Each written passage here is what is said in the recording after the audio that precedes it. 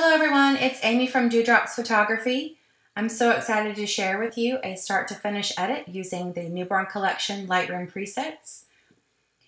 You can find them at www.greaterthangatsby.com. If you'd like more information from me on my workshops and private mentoring, you can visit www.dewdropsphoto.com.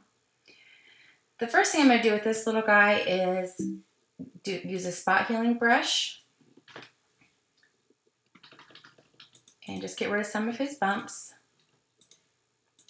And I use the mouse still. I've tried everything else and the mouse just works better for me.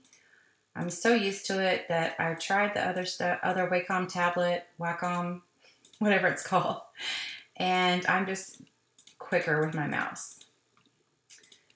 So you might hear the clicking a lot. So I apologize in advance. Okay, we took care of most of the little flakes here and there. I don't remove them from feet or hands so much unless they're really, really big flakes. Okay, so the next thing I'm going to do is I'm going to go to the brush, the brushes. I'm going to change this to reduce red. And I'm going to go ahead and keep it at 50%. I'm going to bring my flow up just a little bit more. Get rid of some of the reds. Actually more. There we go.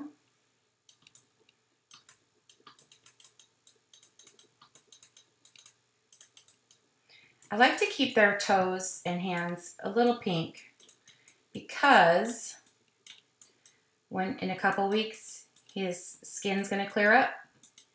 He's going to be more one color, but his feet and his hands will still be pink.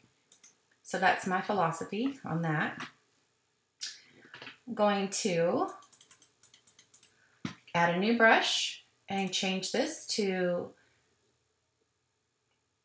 the Lash Enhancer. I'm going to go ahead and just make his eyelashes pop. He's got these great lashes over here. I'm just going to enhance them.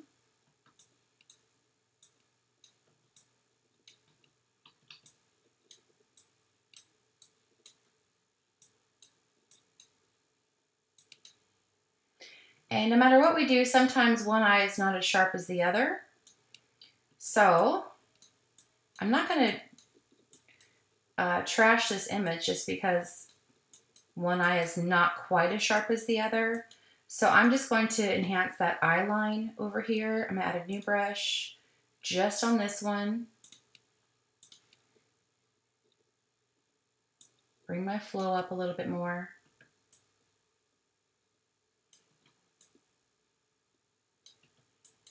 And there you go. I just like their eyelashes to pop a little bit more. All right, and then I'll go to another brush. Make sure you select new. Go to Baby Skin Smoother. And I'm going to give him a nice little skin smoothing. I'm going to bring my flow up a bit more and my opacity.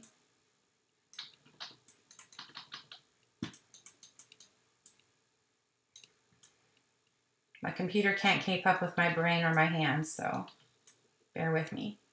You want to avoid his eyes, his eyelashes, um, his lips, of course.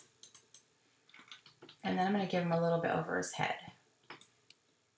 It's got a lot of little bumps up there. Don't forget, don't just smooth out their faces. Also get their hands and feet just a little bit too.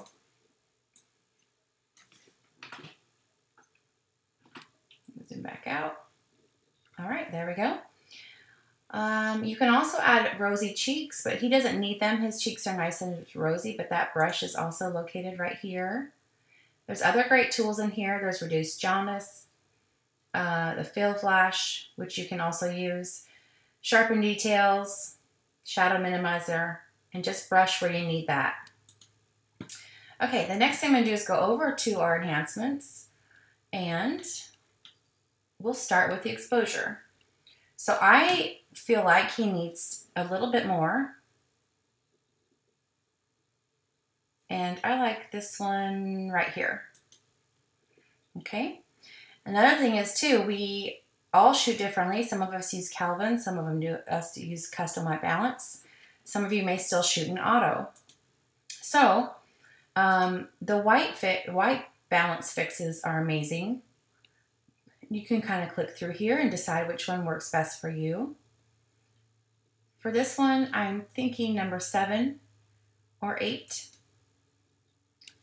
And then I'll go to our enhancements like just click on one that's right for you. Every image is a little bit different. So I'm probably going to stick with somebody's baby. There we go. And then I'm going to go down to, so that right there to me looks, oops, sorry, that one looks really good. We also have these black and white presets that are pretty incredible. I think I decided that Baby You're a Rich Man was my favorite. There's so many in here. And it's just some of us like to have a little more um, contrast in our black and whites. And some of you may, may not want them so contrasty. I like mine a little bit moody. So I like Baby You're a Rich Man. We also have the sharpening tools sharpening boost. And then I also think for this particular image, I'm going to get rid of the black and white for now. Uh, for this particular image, because he's on the dark wood, I really liked the soft dark vignette. It just adds a little something. And then there's the darker one, so you can choose between those two. Actually, I'm going to click on the dark vignette number two. Okay, and there you have it. So now I'm going to show you before and after.